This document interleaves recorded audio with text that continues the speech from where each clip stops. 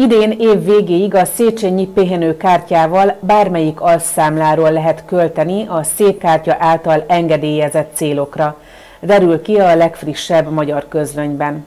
A kormányrendelet szerint a szépkártyával az eredeti alszámlánál meghatározott tevékenységi körbe tartozó szolgáltatás ellenértékének megfizetésére. Egy másik alszámlán lévő egyenleg is elfogadható, illetve a kártyabirtokos az egyes alszámlákon lévő pénzeszközt másik alszámlánál meghatározott szolgáltatás ellenértékének megfizetésére is használhatja.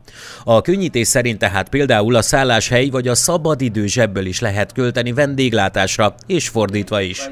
A rendelet a kihirdetését követő tizedik napon lép hatályba.